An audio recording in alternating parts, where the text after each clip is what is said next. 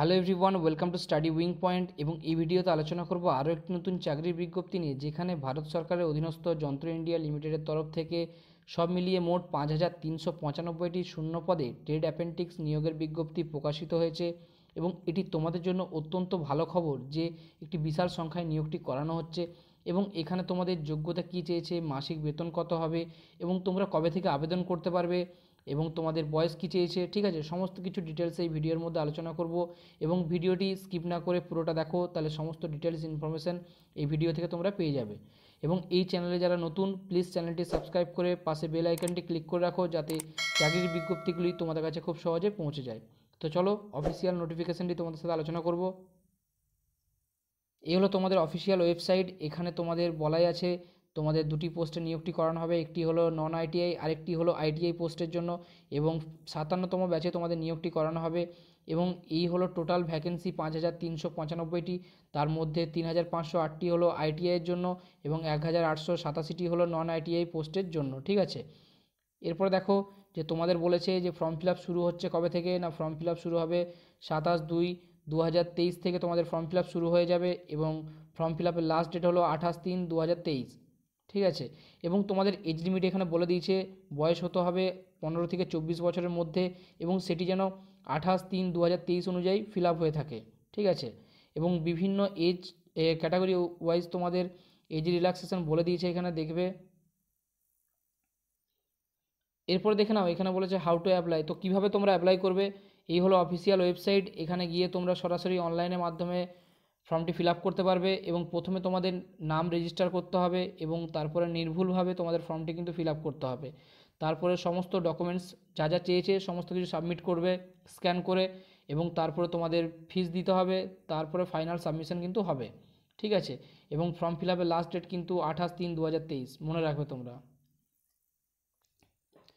এরপরে এখানে দেখে নাও একটি গুরুত্বপূর্ণ তথ্য বলা আছে যে তোমাদের ফটোকপি স্ক্যান করে দিতে হবে কুড়ি কেবি থেকে সত্তর কেবির মধ্যে এবং সিগনেচার স্ক্যান করে দিতে হবে কুড়ি কেবি থেকে তিরিশ কেবির মধ্যে, ঠিক আছে? এরপরে দেখো যে নন আইটিআই ক্যাটাগরিদের জন্য শিক্ষাগত যোগ্যতা কি বলেছে? না, মাধ্যমিক পাস থাকতে হবে এবং মাধ্যমিকের ফিফটি পার্সেন্ট নাম্বার যেন তোমাদের থাকে এবং তার সাথে বলেছে না ম্যাথামেটিক্স এবং সায়েন্সে তোমাদের ফর্টি পার্সেন্ট মার্কস থাকতে হবে। এরপর দেখো যে আইটিআই ক্যাটাগরিদের জন্য কি বলেছে? না, মাধ্যমিকে তোমাদের ফিফটি পার্সেন্ট মার্কস থাকতে হবে এবং যে রিলেভেন্ট ট্রেডের জন্য তোমরা অ্যাপ্লাই করবে, সেই ট্রেডে যেন তোমাদের ফিফটি পার্সেন্ট মার্কস থাকে, ঠিক আছে? এখানে বলা আছে। এরপর দেখো মোড অফ সিলেকশন কি বলেছে? না আইটিআই এবং নন আইটিআই ক্যাটাগরির জন্য তোমাদের কিন্তু মেরিট লিস্ট তৈরি করা হবে, সেটি কিন্তু সেই বেসিসে তোমাদের নিয়োগ করানো হবে, ঠিক আছে? এবং এখানে বলেছে যে তোমাদের পার্সেন্টেজ যেই রকম থাকবে, তার বেসিসে তোমাদের কিন্তু গ্রেডটা সেখানে কিন্তু ক্যালকুলেট করা হবে, ঠিক আছে? বলে দেওয়া আছে। এরপরে দেখে নাও, এখানে তোমাদের বলা আছে যে ট্রেনিং চলাকালীন তোমরা নন আইটিআই ক্যাটাগরির জন্য যারা আবেদন করবে, তারা ছ হাজার টাকা এবং আইটিআই ক্যাটাগরির জন্য যারা আবেদন করবে, তারা কিন্তু সাত হাজার টাকা স্টাইফেন্ড পেয়ে যাবে এখানে। এরপর দেখে নাও যে ফিজিক্যাল ফিটনেস তোমাদের টেস্ট হবে, এখানে বলেছে যে as per the appendix act অনুযায়ী, ঠিক আছে? এবং এখানে মেডিকেল এক্সামিনেশান হবে, যারা সিলেক্ট হবে যে সমস্ত ক্যান্ডিডেট তাদের কিন্তু মেডিকেল এক্সামিনেশান হবে, ঠিক আছে? বলা আছে এখানে। এবং তোমাদের ফর্ম ফিল আপের জন্য কত টাকা করে লাগছে দেখে নাও, যে জেনারেল এবং ওবিসিদের জন্য তোমাদের লাগছে দুশো টাকা এবং এসটি এসসি ওমেন এবং পিডাব্লিউডি এবং আদার ট্রান্সজেন্ডারের জন্য লাগছে একশো টাকা, ঠিক আছে? এবং এখানে তোমাদের কিন্তু হেল্পলাইন বলে দেওয়া আছে। তোমাদের কোনো রকম কোনো প্রবলেম হলে এই নাম্বারে তোমরা ফোন করবে সকাল দশটা থেকে পাঁচটার মধ্যে, ঠিক আছে? বিকেল পাঁচটার মধ্যে। এবং এখানে দেখো আরেকটি তথ্য তোমাদের বলা হয়নি যে তোমাদের প্রয়োজনীয় কী কী ডকুমেন্টস লাগছে এখানে।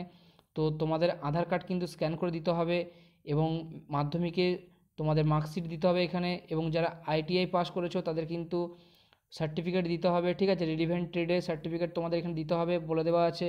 এবং তারপরে দেখো যে এখানে বলেছে তোমাদের যে ন্যাশনাল ট্রেড সার্টিফিকেট তোমাদের দিতে হবে অথবা প্রভিশনাল ন্যাশনাল ট্রেড সার্টিফিকেট তোমাদের কিন্তু দিতে হবে, অথবা বলেছে এসসিবিটি দ্বারা তোমাদের আইটিআই সার্টিফিকেট কিন্তু পাস ক্যান্ডিডেটদের সার্টিফিকেট কিন্তু লাগবে এখানে। এবং তোমাদের কাস্ট সার্টিফিকেট এখানে কিন্তু লাগবে বলেছে, এবং যারা ফিজিক্যাল ডিসাবিলিটি তাদের কিন্তু সার্টিফিকেট এখানে চেয়েছে, ঠিক আছে? এরপরে দেখে নাও যে বিভিন্ন স্টেটে বিভিন্ন রকম শূন্যপদ কিন্তু বরাদ্দ করা আছে এবং তোমরা দেখো যে ওয়েস্ট বেঙ্গলের জন্য কটি শূন্যপদ বরাদ্দ করা আছে। তো প্রথমে দেখো যে গান অ্যান্ড সিল ফ্যাক্টরি কোশিপুরে তোমাদের একশো তিরানব্বইটি শূন্যপদ আছে এবং তারপর দেখো ওয়েস্ট বেঙ্গলে মেটাল অ্যান্ড স্টিল ফ্যাক্টরিতে ইছাপুরে তোমাদের দুশো চোদ্দোটি শূন্যপদ আছে টোটাল ঠিক আছে? এবং তারপর দেখো যে ওয়েস্ট বেঙ্গলে অর্ডিন্যান্স ফ্যাক্টরি দমদমে তোমাদের টোটাল শূন্যপদ আছে একত্রিশটি, ঠিক আছে? এবং তারপরে দেখো যে ওয়েস্ট বেঙ্গলে রাইফেল ফ্যাক্টরি ইছাপুরে তোমাদের টোটাল ভ্যাকেন্সি আছে চারশো সত্তরটি, ঠিক আছে? এগুলি কিন্তু ওয়েস্ট বেঙ্গলের জন্য এবং টোটাল তোমাদের শূন্যপদ আছে পাঁচ হাজার তিনশো পঁচানব্বইটি।